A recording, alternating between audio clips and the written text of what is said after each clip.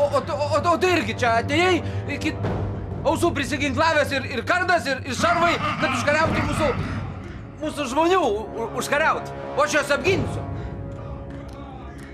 Šiandien tu mirsi.